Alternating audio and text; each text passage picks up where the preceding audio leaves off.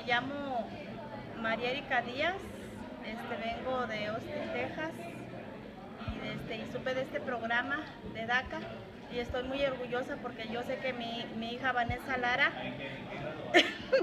va a ser elegible y para las demás personas que no saben de este programa las invitamos para que sean participantes.